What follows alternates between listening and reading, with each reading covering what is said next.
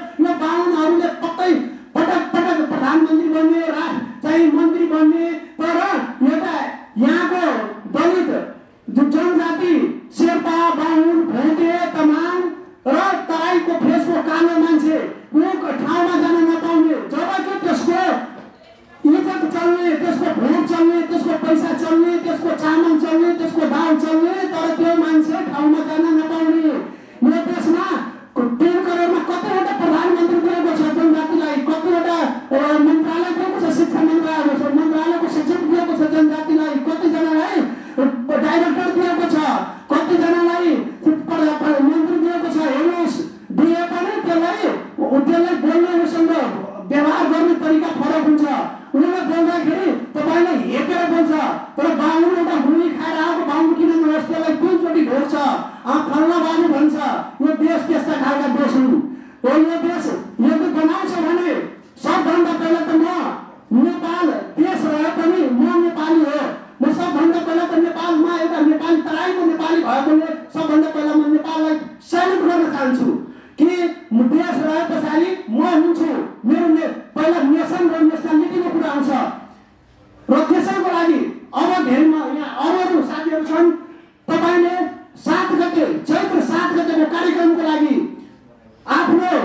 समाज गाउँघर यी साथीहरूलाई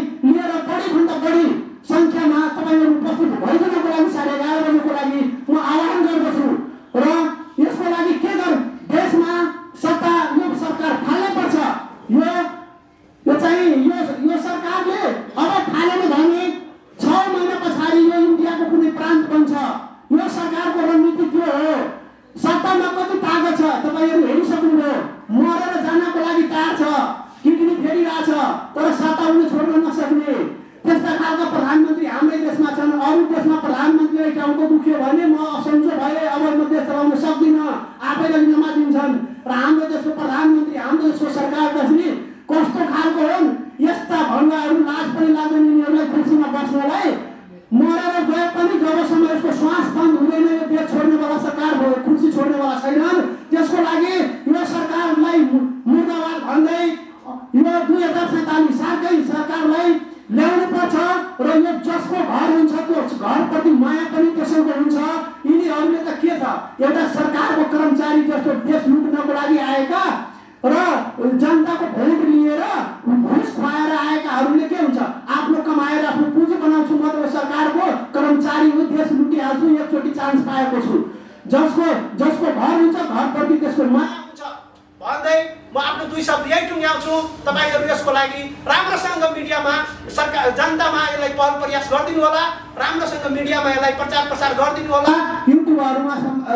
राम्रोसँग मेसेज बनाएर राखिदिनु होला यसको लागि धन्यवाद दिँदै म बिदा हुन चाहन्छु। उपस्थित पत्रकार बन्धुहरू र जति यो देशको बारेमा छेद छेद यो देश किन रोइरहेको छ भन्ने बारेमा उपस्थित जो मुटुमा घाउ लिएर उपस्थित हुने सज्जनहरूमा अ, सबैको भित्र सबैको एउटै छ तर किन एकता हुन सकेन? र यो एकजना प्रचण्डका बाह्रजना शिशुपासे छन् भने छ सय अस्सीका गुणदा कति होला? यो सात सात हजार राजाहरू यो देशले धान्न सक्दैन र सत्तालिस सालको संविधानमा यदि आइँदैन भने नेपालीको घाँटीको हड्डी हुने कुनै नेपालीले सास फेर्न सक्ने छैन। र एउटा बहुत दुःख लागेको कुरा यो हाम्रो धार्मिक गुरुहरू भनाउँदा देवघाटमा पोखरामा यता सुलसुलेहरू यो के छ भने गीता।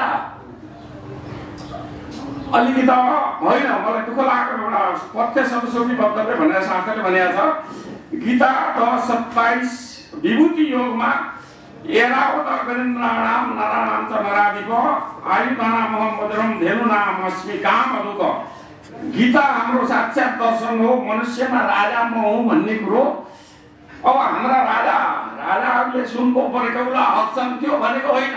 र यो राष्ट्रलाई हाम्रा जति राजाहरू अहिले पैदा हुनुभयो मल्लकालका राजाहरू राजा त्रिभुवन राजा महेन्द्रले कति उद्योगहरू खोल्नुभएको थियो राष्ट्रपिता पृथ्वीनारायण शाहका मूर्तिहरू किन ढलाइयो? त्यसैले अहिले हामीले एउटा ज्ञानेन्द्र शाहलाई एउटा कथम के भनिन्छ भने यो व्यापारी भनेको छ। र के राजाको छोरो भएर अ, गुलेली खेलाउने त्यसैले राजाले उद्योग खोले पनि यहीँका नेपाली जनताहरूले रोजीरोटी पाएका छन् र अलिकति दुई मिनट मलाई यो समय मिल्यो सत्तालिस सालमा यदि नेपाली फर्किन चाहँदैन भने यो देश सबैको एउटा कठपुतली हुनेछ राष्ट्रिय आन्दोलनका संयोजक शेखरजन यहाँ उपस्थित हुनुभएका विभिन्न संस्थाका साथीहरू र विशेष म हाम्रो राष्ट्रवादी शक्ति सबै साथीहरूलाई म आदर गर्दछु र यहाँ राष्ट्रको चौथो अङ्ग सञ्चार हो। यो सञ्चारले कुना कुनामा बसेका नेपाली जनतालाई समाचार सप्रेषण गर्छ। उहाँप्रति म हार्दिक नमन गर्दछु। आज यो पत्रकार सम्मेलन किन गर्नु पर्यो केका लागि गरिएको हो भन्ने कुरा अघि संयोजक शेखरचन्द्र रायमाझीले आफ्नो पत्रकार सम्मेलनमा आफ्नो धारणा राख्नुभयो। वास्तवमा यही हो। हामी राष्ट्रवादी शक्तिहरू मलाई थाहा छ एक हजार तिस पैँतिसवटा राष्ट्रवादी शक्तिहरू नेपाल अधिराज्यभरि छन् भन्ने कुरा थाहा पाएको थिएँ। तर आज मलाई सागर खड्काजीले भन्नुभयो होइन दाई एक हजार तिन सयभन्दा बढी छन्। भन्नुभयो आज हामी एउटा सानो कुठमा आज हामी पत्रकार सम्मेलन गर्न गइरहेका छौँ। हामीलाई यो मुलुकलाई निकास दिने संवैधानिक राष्ट्र संस्था र सनातन हिन्दू राष्ट्र नै हो। मैले पनि सनातन संस्कृति समाज नेपाललाई लिएर सशक्त रूपले मैले आन्दोलित भइरहेको अवस्था छ। त्यसैले यो आन्दोलन जुन गर्न लागेको छ चैत सात गते माइतीघर मण्डलाबाट मानिसहरू विशाल आँधीबेरी साथ सबै राष्ट्रवादी शक्तिहरूलाई मैले अघि भने एक हजार तिन सय शक्तिहरूलाई जुन बोलाइयो यो आवाज सञ्चार माध्यमबाट जाओस्। त्यो सञ्चार माध्यमबाट गएको आवाजले ए त्यहाँ सात गते त्यहाँ कार्यक्रम रहेछ। मैले त्यहाँ उपस्थित हुनै पर्दछ म राष्ट्रवादी यो मुलुकलाई संवैधानिक राष्ट्र संस्था सनातन हिन्दू राष्ट्र पुनः स्थापना गर्नुपर्छ भनेर हामी जुर्मिरहेका छौँ। मैले बस्न मिल्दैन भन्ने कुरा यस सञ्चार माध्यमबाट त्यहाँ पुगोस्। भन्ने म सञ्चार साथीहरूलाई आह्वान गर्न चाहन्छु र सम्पूर्ण साथीहरूलाई उक्त दिन साढे एघार बजे सबै साथीहरूलाई गाउँ टोल छर छिमेक सबै साथीहरूलाई राष्ट्रवादी हामी हौँ। अहिलेको मुलुकमा गणतन्त्रले मुलुकलाई के निकास दियो? दुई हजार सत्तालिस सालको संविधान बनाउँदा यी कम्युनिस्टहरू सबै साथमा थिए। यिनै कम्युनिस्टहरूले बोल्दथे माधव नेपालले भन्नुभयो हामीले संविधान बनायौँ। यो संविधान दुई हजार सत्तालिस सालको संविधान सबैभन्दा उच्च कोटिको संविधान हामीले बनायौँ। जहाँ राजा र जहाँ सनातन हिन्दू राष्ट्र यो मुलुकको मौलिक धर्म संस्कृतिलाई हामीले जगर्ना गरेर अगाडि बढेका छौँ भनेर यिनै माधव नेपालले भनेको हाम्रो कानमा अहिले पनि गुन्जिरहेको अवस्था छ। आज उहाँहरूले कसको आधारले कसको टेवाले के का लागि आज दुई हजार सत्तालिस सालको संविधानलाई पाखा लाउनु पर्ने कारण किन? यो हो यो हो। भारतको हाई काङ्ग्रेसले राष्ट्रलाई पाखा लागेको ग्यारेन्टी हो। त्यस्तै युरोपियन युनियनहरूले सनातन हिन्दू राष्ट्रलाई पाखा लागेको नेपालमा अहिले छत्तिस सैतिस हजार युरोपियनहरूका यहाँ ध्वजाहरू हिँडेका छन्। जसले गाउँ गाउँमा सोझा सिधा जनताहरूलाई क्रिस्चियन धर्मको प्रचार प्रसार गर्ने अनि अरू उहाँहरूको काम छैन।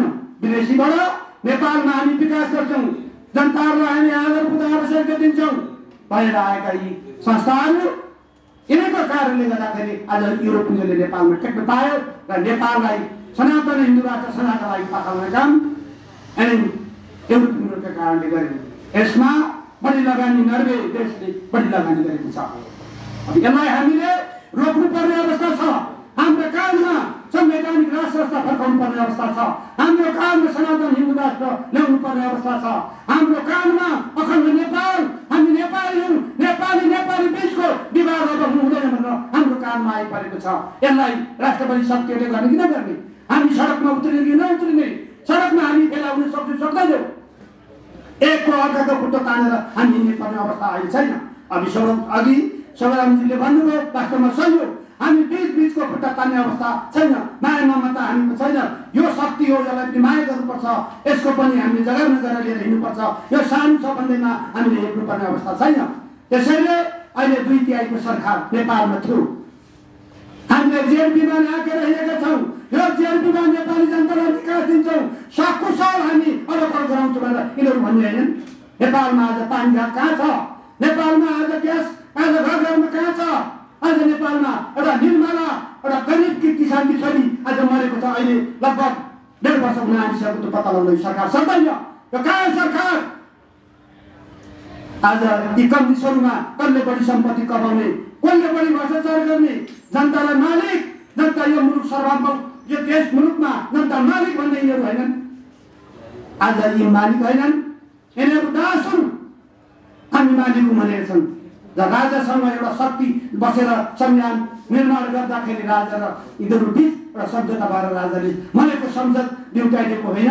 ननिम्त्याइदिएको भए आज यहाँ रक्तपात हुन्थ्यो धेरै जनताहरू मर्दथे।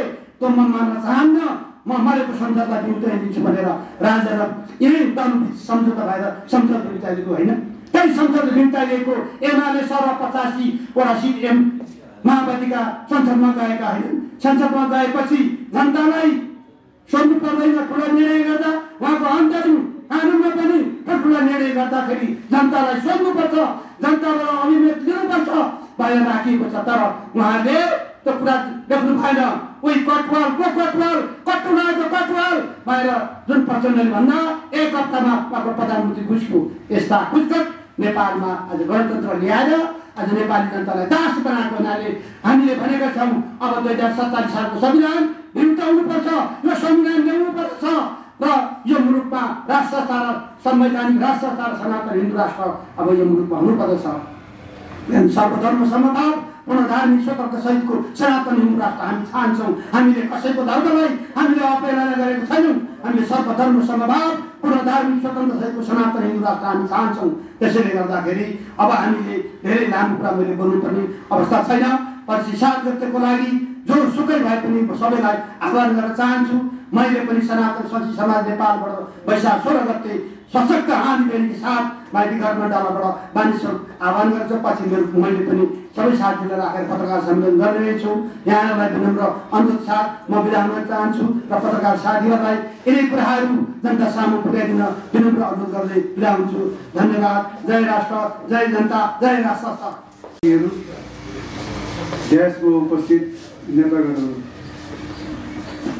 त्यो देश अहिले कता गइरहेको छ भन्ने कुराहरू कसैलाई पनि थाहा नभएको अवस्था छ। पत्रकार मित्रज्यू यहाँ हुनुहुन्छ होला। उहाँहरूले पनि यो देशको अवस्था के र यो देश कतातिर जान्छ भोलि यस देशको भविष्य के हो भन्ने कुरा चाहिँ थाहा छैन। कसैलाई पनि थाहा नभएको कुरा चाहिँ सबैलाई धेरै छ।